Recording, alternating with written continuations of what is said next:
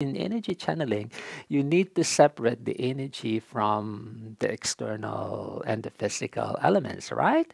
And then you can't do that by clenching because if you clench it, you, you trap the energy. It's not that, it's not how we do energy channeling.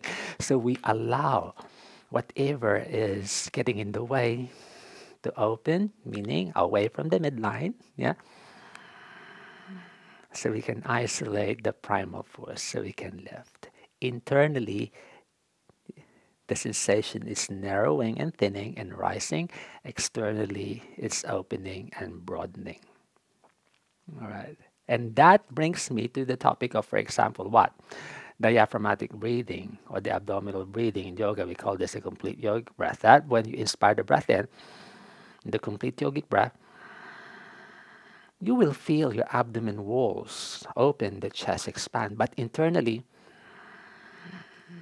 yeah, you feel the sensation rise, like a thin line flowing through the line of your spine. And in breathing exercises, the Jalandhara Bandha actually is the most active, so you can collect, yeah, whatever is under at the bottom to rise. And then by broadening, yeah, by broadening the windpipe, Mm, dropping the jaw. Yeah, and you will feel here the hollow of the throat goes deep because you're drawing the sensation from the inside. That sensation actually comes from the hips. So the Jalandhara Bandha, this one, and the hollow of the throat, and the Mula Bandha, they are directly linked whatever is being sucked and drawn up here comes from there.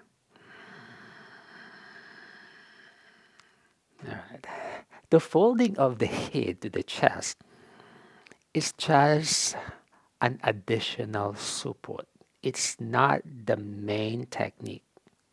Although it will help if you allow the head to passively, again, passively fold forward, not clench and tighten. Just allow it to relax.